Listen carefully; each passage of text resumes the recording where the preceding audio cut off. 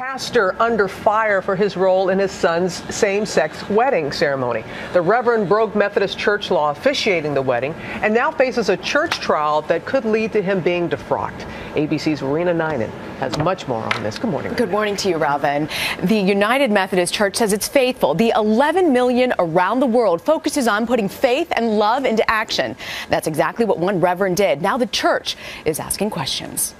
He is the minister willing to give it all up for his son, even if it means being forced out of the priesthood of the United Methodist Church for officiating his gay son's wedding. I felt totally honored and I, I, I was full of joy. Reverend Frank Schaefer says his son Tim was forced to admit he was gay at 17, but instantly he and his wife accepted the news. He had cried himself to sleep many times and he knew that, that this wasn't right because he had heard that message from his church. Schaefer says he informed his superiors he was going to perform the wedding back in 2007, and they did nothing to stop him. But six years later, a parishioner complained. Now the minister will face trial before a jury of his church peers Monday to determine whether he can remain a pastor.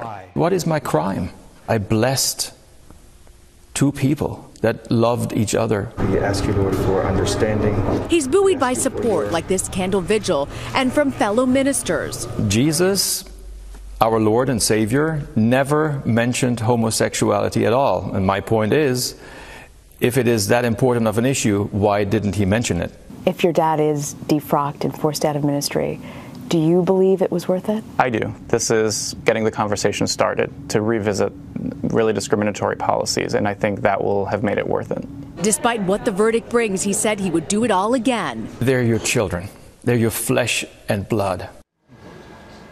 A Facebook page supporting Reverend Schaefer has received more than 2,000 likes. We did reach out to the church, but Robin, they declined to comment. But again, he didn't try and get away with anything. He informed his superiors when he was doing it. They had no problem. And then a parishioner comes forward six years later. Six years later, and they said they really wanted this to be a private ceremony. They didn't want to do this real big public announcement mm-hmm. and bring it back in. And and they feel very moved that this is a, an issue that affects a lot of people in America. It gets the conversation going again. Yeah. Rena, thank you. you One thing's for sure, he's a loving dad. Yes, he is.